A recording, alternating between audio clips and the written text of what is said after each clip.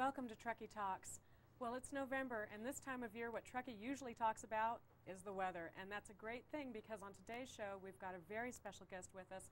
We'll be talking about the weather in just a second, but I'd like to introduce to all of you Mark McLaughlin. Mark, it is a privilege to have you on the show. Thanks, Maya. It's a pleasure to be here. Thank you for coming. Mark, you're a pretty distinguished guest here. We don't usually have this long of an introduction, but uh, I want to point out that you've been a recipient of the Nevada State Press Writing Award for the, the years 1993 through 1997. That's very impressive. You're Far West Ski Association Bill Berry Writing Award. You're the author of feature columns Weather Window and Sierra Stories. And in the Sierra Stories, of course, you've put those together in your two books here Sierra Stories, True Tales of Tahoe, Volumes 1 and 2.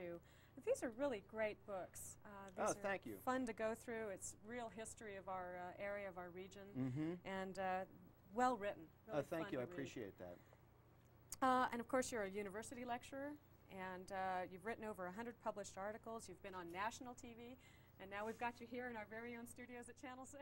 Hey, it's fine with me. this is exciting. Yeah. Thank you for coming. I want to talk about weather with you, Mark, and, and that's really okay. your background. Before we get into the weather, though, tell us how you got involved with weather. Um, well, I'm kind of a weather freak, and uh, I was raised in Philadelphia and uh, they only averaged 20 inches of snow there a year, and that was insufficient for me. but uh, I still remember when I was a kid, I would used to, in Philadelphia, with four inches of snow, all schools are closed, so I would make predictions when school would be closed for the next day. But I would be so excited about it, I would just spend all night watching the street light, waiting for the snow to come, and when about two or three inches piled up along the sidewalks and everything, I'd shovel all my neighbors' walkways and put all the snow in front of my house. so I think my dad was glad to see me leave when I finally did. We would have snow in front of our house in April when everybody else's lawns are already up. Now you, you live know? here in Tahoe. I live on North uh, Carnelian Bay, yeah. So you don't have to pile up anybody else's snow. Not anymore. Not anymore. It's all here for you. Exactly. Let's talk about last year's winter. Okay. Um, it was a pretty heavy duty winter, and I think the thing that impacted us the most is that it just seemed to go on forever. Yes, it did. Um, well, one thing that I have to point out is we always, the National Weather Service and the various climate agencies always try to make long-range forecasts. It's very difficult. It's very elusive. Uh, last year's strong El Nino event in the Pacific gave the National Weather Service the opportunity to make a long, winter-long forecast and they predicated this on data from historical El Nino events and looking at historic weather patterns. So they said Southern California is going to be wetter than normal, the Pacific Northwest is going to be drier than normal, and they were able to schematic it out and do the whole country. And the wonderful thing that happened last year when it was all said and done if you took that forecast that the National Weather Service had put together, and then you took the weather data that had actually occurred at the finally at the end of the water year, and you laid it on top, it was almost a perfect match. So for the first time in history, the National Weather Service was able to put a long-range seasonal outlook forecast out there and hit the bullseye. So all that griping about weather forecasters not knowing what they're talking about is starting to go by the wayside? Well, it, the irony is, with a strong El Nino event, whereas this year we're getting into a moderate to strong La Nina event, mm -hmm. you can make a long-range prediction that has the potential and the likelihood of being accurate, whereas if they're trying to tell you what's going to happen in five days, they won't, still won't be able to do it. It, it, has to be a long trend kind of a thing. And it adds up, the numbers add up. You can't say one big storm here or five little ones. It's all, when it's all said and done, how the numbers have actually come together. Well, now we're going to be talking about the difference, and uh, hopefully you're going to explain to us mm -hmm. in mm-hmm. terms we'll understand the difference between El Nino and La Nina. We're mm -hmm. hearing these terms a lot. Last year there was so much talk of El Nino that I think we got sick of hearing about it until the weather actually hit. And, well, and the thing is, California spent tens of millions of dollars in anticipation of this last year's strong El Nino event, and it still cost us $500 million in damage. To clean it up. To clean it up and flood events and things of this nature. So uh, it was really, the thing what happened was El Nino events and La Nina events are oceanic, atmospheric um, scenarios. Let me, let me use the blackboard here just a little bit. and. Uh, my cartographic and mapping skills are absolutely terrible, but let's just put North America up like this, and then we have South America coming down, excuse me, Central America, and then we have South America down here. And what th- we usually have, let's put Australia way out here, and this map is not to scale, and it's not perfectly done, I you must don't admit. use this to fly to Australia, no, folks. please You'll don't. You'll never get there. um, but there's two things, and I'll make this very basic and very simple. In general, in the atmosphere over the northern hemisphere, there generally tends to be low pressure over the Australian continent. Lower pressure means rising air. Rising air creates a vacuum near the surface. Nature abhors vacuums. It will send air to fill that vacuum. So we have low pressure over Australia, and we tend to have high pressure over here in our part of the world. So in a typical year, the high pressure will send air and the air masses towards the low pressure to fill in this vacuum. And when it does that, these prevailing winds will take the top layer of the ocean's waters and send it to the west The moisture. the, the warm water that's been heated by the sun. Mm-hmm. So as that water moves that way, it creates a very warm body of water. That's why, and this is a little side thing, we have hurricanes here in our part of the world. They call them typhoons in the Asian part of the world, and their typhoons will go 200, 250 mile an hour wind gusts and such. They're much, much more powerful, and that's because they have shallow ocean and all this warm air, warm water, excuse me, that continues to flow in that direction. And an El Nino event means the atmosphere changes. We get low pressure developing here, high pressure picks up over here, and what that does is it reverses the wind flow, which reverses the ocean currents, and it changes our weather patterns. Here in California, might be hard to see, we're up in this neck of the woods. This new flow coming in a unusual situation, which is an El Nino that only happens every three to four years or so, and will begin to bring storms in primarily to Southern California. And the Northwest will be dry. So they'll be dry there, they'll be wet here. In a La Nina event, um, it's the pressures have reverted back to the normal with uh, low pressure in the west and high pressure over us, but the ocean temperatures themselves have really cooled down below normal. And in La Ninas, with colder than normal temperature, ocean temperatures, do not always follow an El Nino right on its heels. But this year it did. It does happen. So, but it's a little unusual. And what the El Ni- La Nina will tend to do will change this pattern and contend to bring in storms into the Pacific Northwest, giving them above normal. They're naturally wet anyway. Mm-hmm. So there will be wetter than normal. And this year's forecast will be for Southern California, drier than normal. And these will probably be almost a guarantee Now, that this will happen. I'll ask you in a minute just where we fall into this. But you mentioned some very primary changes here in the creation of El Ninos or La Ninas. Mm-hmm. One of them being the change of pressure from low to high, Right. the other being the surface temperature of the ocean changing. What causes those base changes? Why would the ocean temperature change? Well, it's called ENSO, El Nino Southern Oscillation. And the oscillation is that seesaw effect that we're talking about here, and no one can tell you why exactly that happens. It's been going on probably for millennia, on and on and off. Mm. The only time we just started, most young people won't even know this, but we weren't even talking about El Ninos before the winter of 1982 83, mm. which was the most powerful recorded El Nino until just last year and created hundreds of millions of dollars of damage in California. And once the media grabbed that El Nino, which means the little boy, Right. and it's named, and I'll just clarify this when we talk about how these waters are taken away in an El Nino event and shift shifted off like that, where in a traditional pattern, what happens is when the uh, that surface water moving to the west allows cold, nutrient-rich water to upwell off the north coast of western South America, and fishermen go out to harvest anchovy and other types of cold water fish. And when the El Nino occurs, and you usually start seeing it in November or December, and these ocean and instead of having the warm water going off to Australia and letting cold water up well, it's, it reverses, and warm water comes flowing back towards northern South America and off the uh, the Central American coast. And when you, the fishermen go out to catch these cold water fish, they're not there because the ocean has gotten so much warmer, they've had to go off.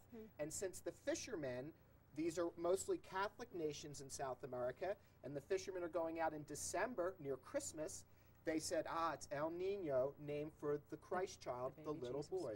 So, so it's a very anecdotal name, but now it's the big thing. Now, Yeah. we're talking about La Nina, and here we are in Truckee, Tahoe. What is this going to mean to us, Mark? Uh, statistically, in our area, it will be average to slightly below average, will be the statistic. But as most of us know who live here, uh, our averages are strictly the means, the, the numerical means or averages between extremes. And just off the top of my head, I'll just half a dozen La Ninas in this century. We had 1906 07, 884 inches of snow. That's 73 and a half feet. That is still the all time Sierra record. then it came, then we had 1924, which is the driest winter in the Sierra history, only 17 inches of precipitation. And then we had a series of flood years. We had 1950, 1955, both uh, November, December oriented uh, flood situations on the Truckee River, both from La Nina influenced winters. Mm-hmm. And then we went into 90, 1975, 76, 76, 77, a two year very extreme drought. Right. So, when you look at it that way, it's a push on this kind of a thing. But what they'll have to say is from San Francisco north, the chances are better than average because every year it's a roll of the dice. It's a 50 50 chance for an average year, mm-hmm. every year. Mm-hmm. But this year, the dice is loaded to be wetter than normal north of Tahoe, Truckee, and this into this direction, and then drier to the down south. And once again, just like in El Ninos, which is a similar kind of thing, but in reverse, we're in this really, it's kind of a gray area, and it's hard to say with certainty exactly what this winter will bring. But I would tend to say that I would look for a wet fall, November, December, and then a kind of a more traditional winter, which we doesn't seem we've had very many traditional Yeah, winters what, do- what would a traditional winter look A like? A traditional winter means you have a series of two or three frontal systems that come in, give us two to three feet of snow total. Then high pressure regime comes in and keeps us dry for two weeks, two and a half weeks, till another little batch of a few storms come in, Right. and we'll add up our numbers and we'll have that. We haven't had that kind of a pattern in a long time. Uh, and that's kind of what this year would tend to be predicted to be, but like I said, uh, that's why I'm a weather historian. People ask me, what's a weather historian? I say, I will tell you what the weather has been from yesterday back 150 years. And my accuracy rate is very good. Isn't that cheating, Yeah, though? well, there's plenty of guys out there trying to make forecasts. That's so right. That's right. I'll Well, it sounds like it could be a good year for skiers, though. We get some snow base down, and then we get some clear days. Yes, uh, what is worrying me right now, uh, the pattern that is beginning to set up, and I'll just point this out very briefly. Uh, even today, I drove in in the snow coming here, but we only picked up a few inches, and there's very it's powder. There's very little moisture content in there, and only skiers care about snow. It's everybody else cares about water content. Right. You know, and that's one thing when you measure precipitation, you measure it in a rain gauge, and one inch of rain will equal one inch of water. But you take snow and you melt it down, and in the Sierra, it is generally one foot of snow will equal about one inch of water, and then you add up all the inches. Last year, at the uh, the eight station Sierra Index, which is a, a group of stations that are placed throughout the um, watersheds of the Sierra, and then they're all averaged together to get a Sierra average. Last year we had 84 inches of precipitation. And the record, modern record, is the winter of 1982-83, and they had 88. Oh, we can remember so that we were very, very close. Yeah. Very, very close. Um, but what is happening this year, and it is kind of a scary trend if it continues, is, and this will give us that same exact pattern that we were talking about. If these storms, like they're doing now, just like today, we got the tail end. If they start coming through, and here it is, Northern California getting very wet, in Oregon and Washington plus, plus, plus, mm-hmm. and we're just getting the tails of a couple inches here and there, dry to the south, and here we are right in that area mm-hmm. again. And we're going to want to get some of these storms to come a little bit further south if we can, or what's going to happen that will make up the difference. Otherwise, it's going to be a drought winter. Or if we get a tropical flow, which has happened in La Ninas, it's a what we call our Pineapple Express, what we have in El Ninos that comes kind of from Hawaii, it seems, even though it's further to the west. The same thing happens up here to the north. They tend to get flood events in Oregon and Washington. And uh, that's how the big numbers happen. In that storm of 1955, it was only a seven day storm, but we picked up 30 inches of rain. And those numbers will carry over. Even if the rest of the year is dry, you're already way ahead. But that's not what we want. I mean, as humans, we can't use tremendous amounts of rainfall. Right. We like moderate amounts of snow, preferably before weekends and before the holiday season for skiers if we can get it. But once again, we don't control the weather, we just observe it. Now, you mentioned that last year the National Weather Service was pretty accurate in their Yeah. overall prediction. Mhm. What are they predicting overall? You mentioned the, the wetter up here, the drier down here. Can they narrow it down to our region? No, or this is what they, the only data that they're trying to use is San Francisco, and then you'll extrapolate that up into the Sierra.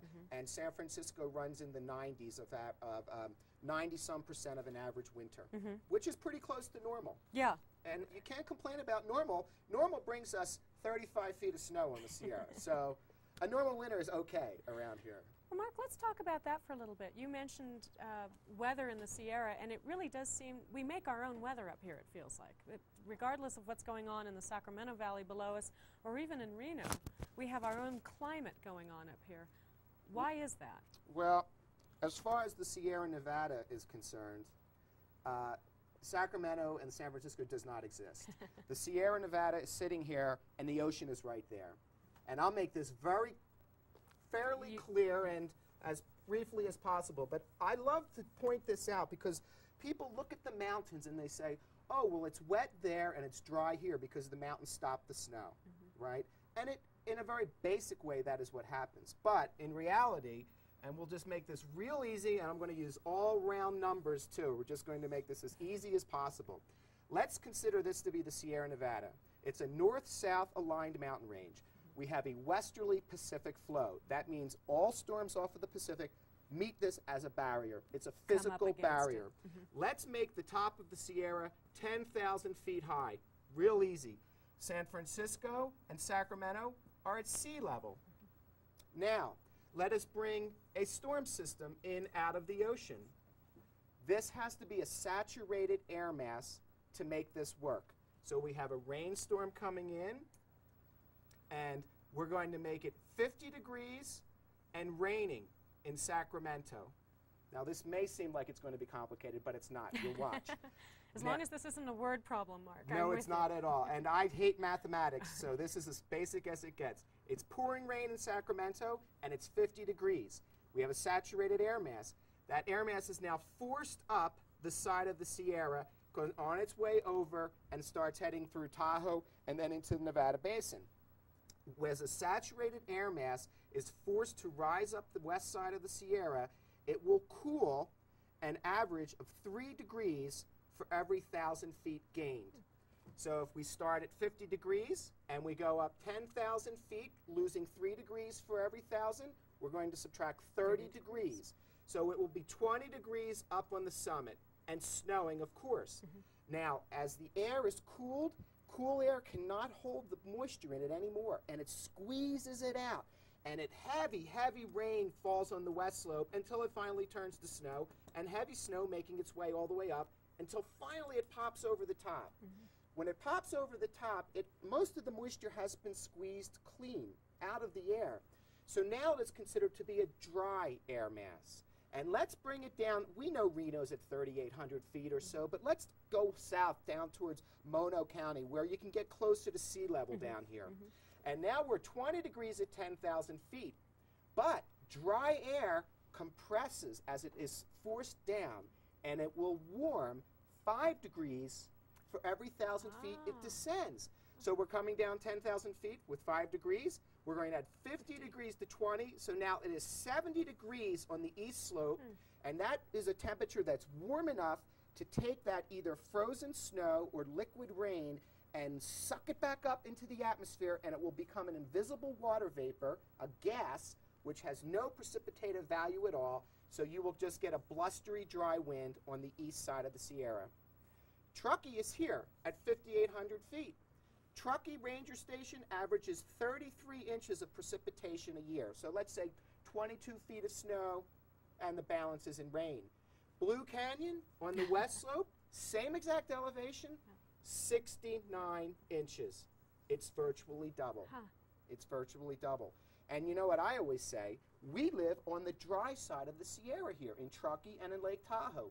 If you put Truckee on the other side at the same elevation, or you put Lake Tahoe on the other side of the Sierra at the same elevation, half the people wouldn't be living here because you would be increasing the rain and snowfall by a factor of more than two. Interesting. See? So why aren't there any ski hills over here? Well, there aren't any ski hills because the mountains have been eroded down. The Sierra Uh-huh. uplifted, and what we have is these quick, clear, right. precipitous drops. It's much more undulating as you go down on the west slope. And that is called orographic uplift, meaning you have the two ways of getting rain synoptic, meaning a wedge of cold air forcing air to rise and cool and condense the precipitation, or forcing it up over the mountains where it does that too. And fortunately for us in the Sierra, we get both. The synoptic event forcing the air to rise, and then combined with the orographic uplift to produce enhanced precipitation hmm. values. This has been a That very good learning experience. I, I think I got it. Okay, I think okay. I got it. I'll give myself an A because I understood it. and actually, that really clarifies a lot of interesting information for us. We struggle with the weather up here, not because we like it or dislike it. We know that weather comes with the deal. That's that's, That's part of why we live here. I low pressure gets me high, and that's why I moved here. you have a bumper sticker that says well, that. I'm going to do that. Uh, what I wanted to point out is east of the Sierra is Nevada. Uh-huh. Nevada is the driest state in the United States. Out of all 50, Nevada is the driest because of this principle of a west flow and a mountain range blocking it off.